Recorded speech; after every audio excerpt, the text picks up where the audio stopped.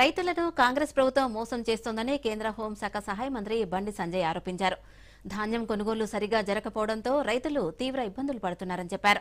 చాలా చోట్ల కొనుగోలు కేంద్రాలు ప్రారంభమే కాలేదని కేంద్రాలు ప్రారంభమైన ప్రాంతాల్లో కూడా అనేక చోట్ల ఇప్పటికీ కొనుగోలు మొదలు పెట్టలేదని విమర్శించారు. నవంబర్ పదిహేను వరకు ఇరవై ఐదు లక్షల మెట్రిక్ టన్నుల ధాన్యాన్ని కొనుగోలు చేయాల్సి ఉన్నా ఇప్పటి వరకు సగం ప్రొక్యూర్మెంట్ కూడా కాలేదన్నారు. ప్రభుత్వంపై నమ్మకం లేక రైతులు బ్రోకర్లకు తక్కువ ధరకే అమ్ముకుంటున్నారని చెప్పారు. కొనుగోలు ప్రారంభమైన చోట కూడా తరుగు తేమ తాలు పేర్లు చెప్పి కోత పెడుతున్నారని బండి సంజయ్ మండిపడ్డారు.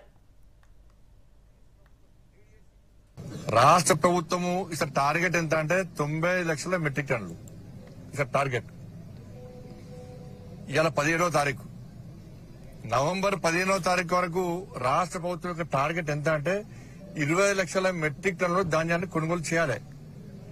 ఇవాళ సెవెంటీన్త్ ఇవాళ. పదిహేనవ తారీఖు అయిపోయింది. ఇరవై లక్షలు కాదు కదా దాని సగం కూడా కొనుగోలు కాలే. ప్రొక్యూర్మెంట్ సగం కూడా కాలే. ఇప్పటికే ఇరవై ఇరవై శాతము ధాన్యాన్ని అడ్డి పవసరం అమ్ముకున్న రైతులు.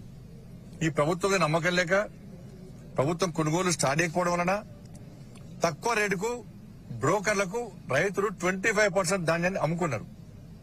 ఎక్కడైతే అక్కడక్కడ ప్రారంభించిన కొనుగోలు సెంటర్లో మళ్ళా తరుగు తాలు తేమ పేరుతోని కటింగ్స్. ఇది తెలంగాణలో రైతుల పరిస్థితి. రాష్ట్ర ప్రభుత్వము ఎన్నికల మేనిఫెస్టోలో ఏం పెట్టారు ధాన్యానికి సన్నబొడ్ల దొడ్డొడ్ల ఇవ్వలే ధాన్యానికి ఐదు వందల రూపాయలు బోనస్ ఇస్తామన్నారు. మళ్ళీ ఇప్పుడు ఏమంటున్నారు? సన్నబొడ్లకే ఇస్తా అంటున్నారు. పాలసీ మార్చేసారు ప్రభుత్వం.